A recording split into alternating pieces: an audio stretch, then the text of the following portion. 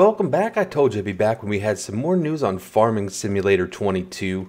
Uh, we just got a little bit of information given to us today off their website. It's a pretty interesting stuff, so it definitely looks like a production is coming to Farm Sim 22 right out of the gate.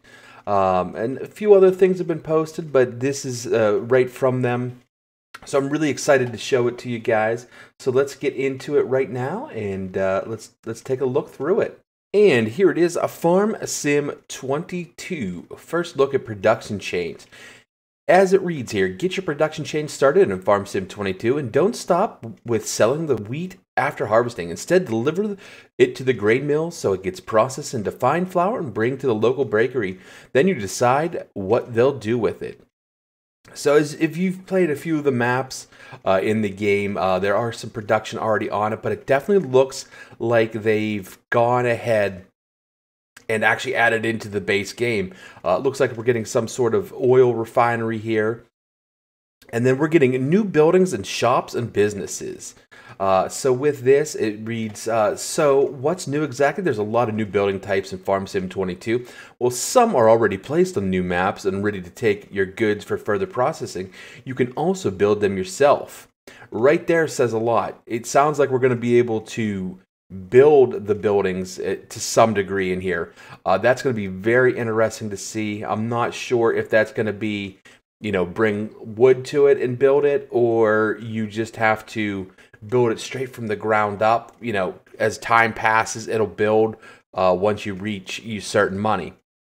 That itself is an interesting line right there. You can build them yourself. Make them your business to expand farming operations. Since the feature is still work in progress, we won't show you everything today.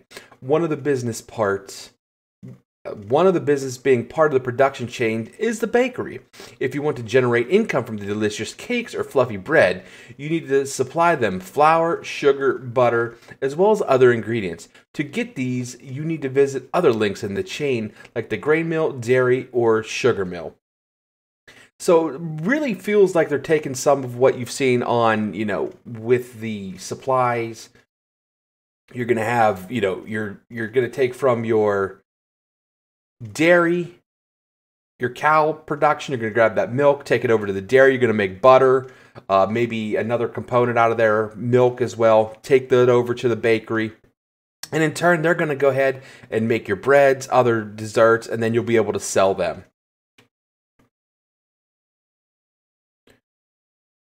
You your new bread and butter. Oh, I, I, really like this grain mill. As you can see on the forklift here, we're getting pallets. So I'm guessing pallet production is going to be in there, or we'll be able to just buy the pallets or to be supplied to us. Uh, that's going to be interesting to see.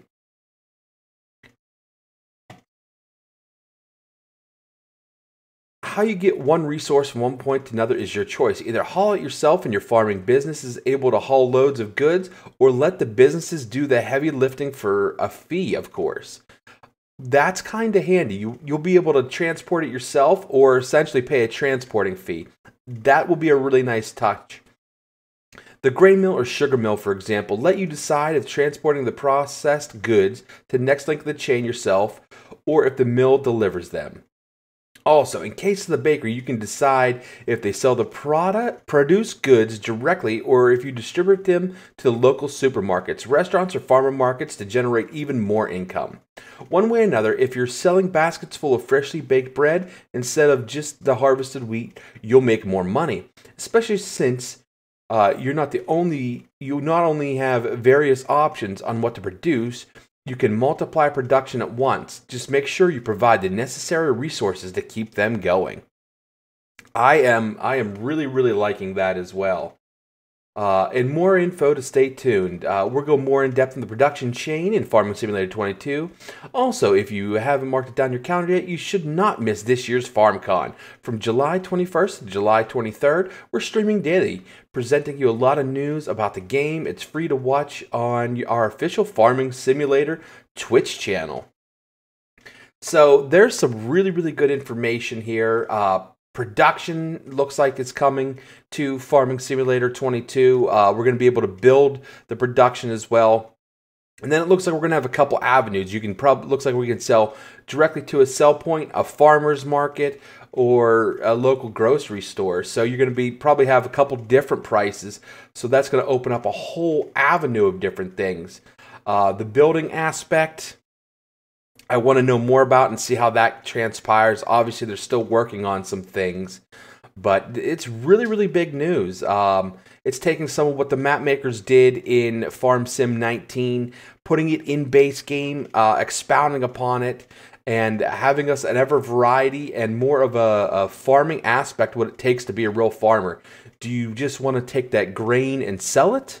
Do you want to make bread, possibly other items from it, dairy products, and make multiple different di- chain? You know, so you're going to have to required to have you know dairy and bread to make bread or chickens and things of that nature. So it's really really interesting to see. It's this is a really big update.